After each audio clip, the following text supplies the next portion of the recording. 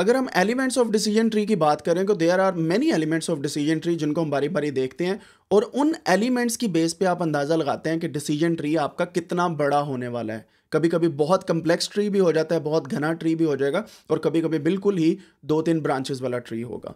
So let's have a look on that elements of decision tree और ये अगर आप यहाँ पे देखें it would be easier for you to understand कि हमारे पास multiple elements of decision tree जो हैं, वो मौजूद होते हैं। से फॉर एग्जांपल अगर हम बात करें हमारे पास सबसे पहला होता है डिसीज़न नोड एक ऐसा नोड ये जो नोड है नोड का मतलब है एक ऐसा पॉइंट जहाँ से डिसीज़न होना है. डिसीज़न नोड एक ऐसा नोड होता है जिससे आगे ब्रांचेस निकल रही होती हैं. सॉरी uh, आगे जो है आपके नोड्स जो हैं वो निकल रहे होते हैं.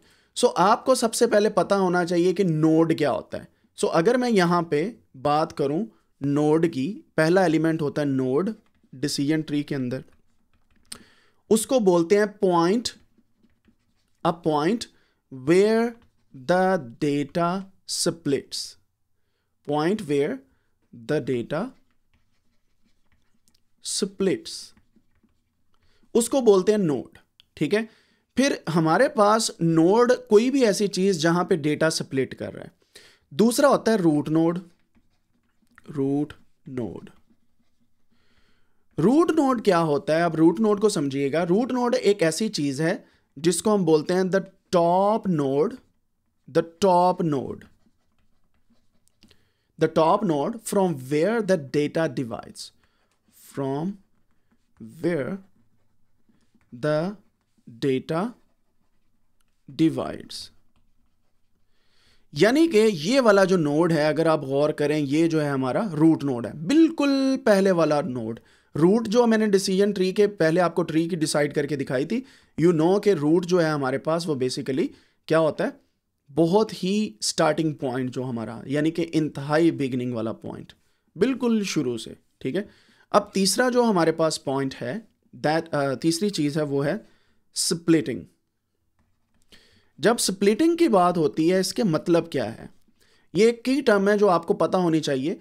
स्प्लिटिंग का मतलब ये है ये एक प्रोसेस है प्रोसेस है of dividing process of dividing a node एक नोड को डिवाइड करने का प्रोसेस इनटू टू और मोर सब नोड्स ठीक हो गया?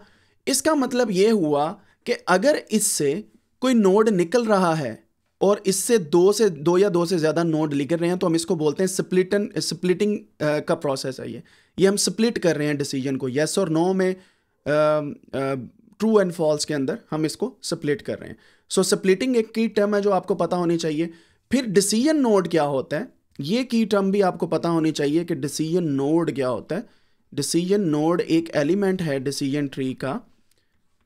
An element of decision tree that splits into further nodes. Element of dt that splits into further nodes. ठीक है अब आपने क्या करना होता है जब आपका एक नोड फर्दर नोड्स के अंदर डिवाइड हो रहा है ना, उसको हम डिसीज़न नोड बोलेंगे। यानी कि ये वाला हो रहा है, ये भी हो रहा है तो ये भी डिसीज़न नोड भी है, ये भी डिसीज़न नोड है, ठीक है? ऑब्वियसली ये रूट नोड है, लेकिन ये हमारा बीच वाला नोड है। अब जो बीच वाला नोड होता है, हम इसको बोल सकते हैं कि ये हमारा कौन सा नोड है? बीच वाले नोड को हम नाम दे सकते हैं कि ये हमारा इंटरनल नोड भी इसे बोल सकते हैं, ठीक है? So let's see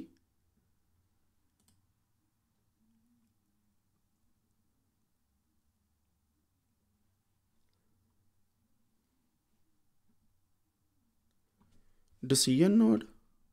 And then we will write here number five, internal node. ऐसा नोड जो डिसीज़न नोड से निकले और वो खुद भी एक डिसीज़न नोड हो, ठीक है? उसको हम बोलते हैं इंटरनल नोड यानी कि ये वाला जो नोड है, इसको हम बोलेंगे इंटरनल नोड इंटरनल नोड फिर आपके पास जो लास्ट पे होता है, इसको बोलते हैं लीफ नोड यानी कि जो फर्दर स्प्लिट नहीं हो रहा, उसको हम बोलते हैं leaf node number six is leaf node uh node ऐसा नोड जो फर्दर स्प्लिट ना हो. अ नोड इसकी डेफिनेशन हम कह देते हैं लीफ नोड की. बल्कि इसको मैं यहाँ पे अगर लिखूं लीफ नोड को हम इसको लीफ नोड भी बोलते हैं लीफ नोड भी बोलते हैं, और इसको टर्मिनल नोड भी बोल देते हैं टर्मिनल नोड यानी कि ऐसा नोड जो लास्ट वाला नोड है, जो आगे फर्दर स्प्लिट नहीं हो रहा that doesn't does not split ठीक है? और ये बेसिकली आपका रिप्रेजेंट करता है फाइनल डिसीज़न को।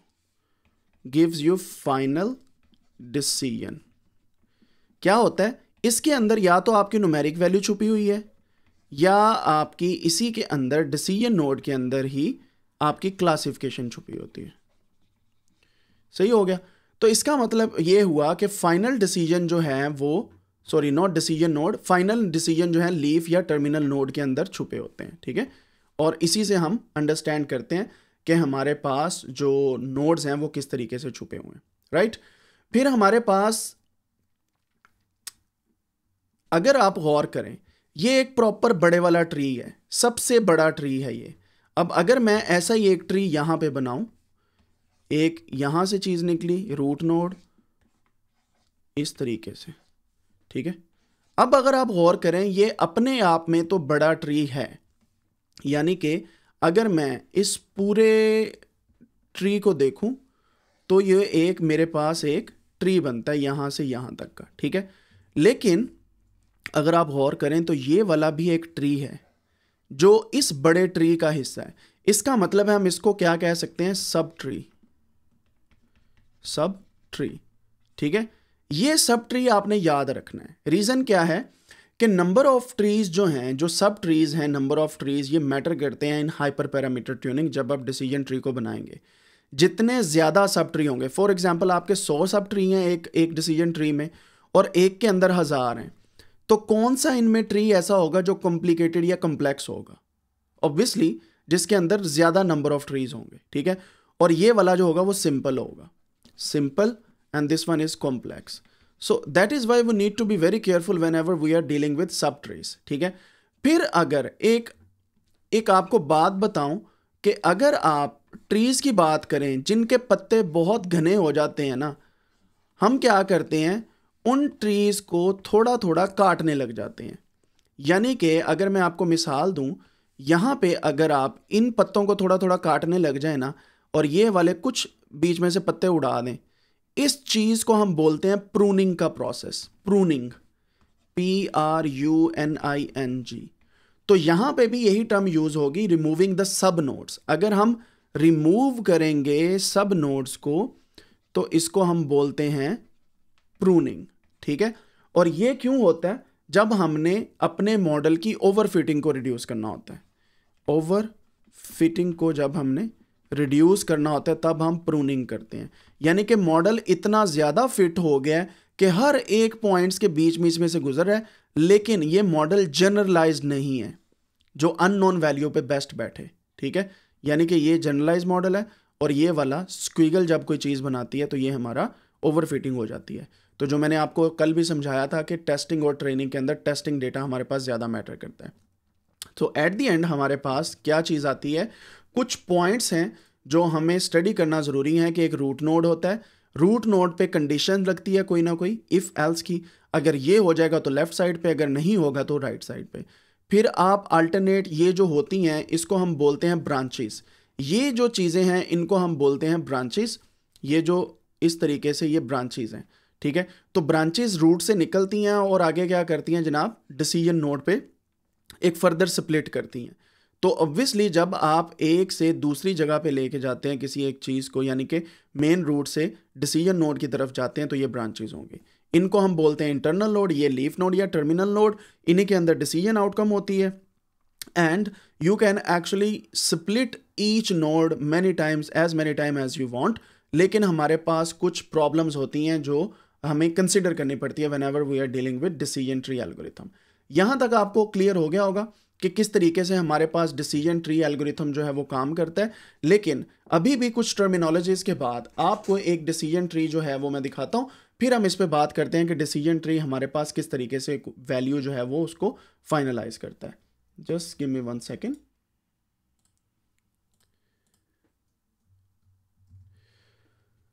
एक डायग्राम मैं यहाँ पे लेके आता हूँ और हम उसको समझते हैं। ये हमारे पास एक डायग्राम है, ठीक है? अब इसके अंदर अगर आप गौर करें तो हमारा रूट नोड ये है एज ठीक है? और हमारे डेटा में जिनकी एज 18 से कम है वो लेफ़्ट साइड पे आ गए लाइक दिस जिनकी 30 से ज़्यादा है वो राइट right साइड पे आ गए और जिनकी 18 से 30 है वो सेंटर में आ गए. सो so, हमने एक में से तीन क्या निकाली? बेसिकली तीन किस्म की हमने स्प्लिटिंग की. दो या दो से ज़्यादा हो सकती है हमने तीन कर ली. ठीक है? अब इसका मतलब यह है कि जिनकी एज 18 से 30 है, उनको हार्ट अटैक के रिस्क बहुत कम है, लो रिस्क है, ठीक है? अब बात करते हैं, जिनकी एज 18 से कम है, उनका वेट कितना है? अब अगर आप गौर करें, अगर उनका वेट लेस देन 60 है 60 के से कम है तो उनको low risk of heart attack है। अगर उनका वेट 60 से ज़्यादा है यानी कि 18 साल की उम्र में ही या 18 से कम उम्र के अंदर ही उनका जो वेट है वो 60 से ज़्यादा है उनको हार्ट अटैक के चांसेस ज़्यादा हैं। This is just a kind of idea जो हमने एक गिवन डेटा के बेस पे देखा है। सो so, आप देख सकते हैं कि हार्ट अटैक की बेस पे आप कुछ भी प्रिडिक्ट कर सकते हार्ट अटैक जो है एज की बेस पे आप प्रिडिक्ट कर सकते हैं। अगर आप ग्रेटर देन थर्टी वाला चीज़ देखें अगर कोई तीस साल से बड़ा है और वो स्मोकर हैं ठीक है, जारी बात है एटीन से कम स्मोकर को हम कंसिडर ही नहीं करते क्योंकि लीगल एज ही नहीं है, वो तो वैसे प्रिवेंटेड है, ठीक है? सो हम क्या करते हैं? स्मोकर को देखते हैं, जो स्मोकर है, उनको कहते हैं high risk of heart attack है, जो नॉन स्मोकर है, उन्हें कहते हैं low risk of heart attack है। And this is a kind of example जो एज की बेस पे आप चीज़ों को क्लासीफाई कर रहे हैं into low risk and high risk of heart attack so basically ये डेटा की बेस पे चीज़ें जो हैं, वो आपके सामने आ रही हैं, ठीक है? अब यहाँ पे होता क्या है? हम जब भी कोई एक डिसीज़न ट्री ड्रॉ करते हैं, उसके पीछे डेटा की करेक्टरिस्टिक्स होती हैं। और डेटा को समझने के लिए हमें कुछ पॉइंट्स का ख्याल रखना पड़ता है और उन पॉइंट्स की बेस पे हम डिसाइड करते हैं कि कैसे आपने कितने डिसीज़न ट्री बनाने हैं। और उन पॉइंट्स को अब हम डिस्कस करते हैं।